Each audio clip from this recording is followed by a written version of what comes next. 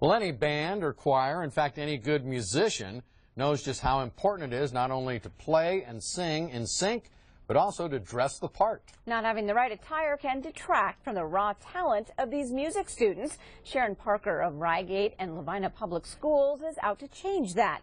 And Q2 and First Interstate Bank are going to help with this week's $300 grant.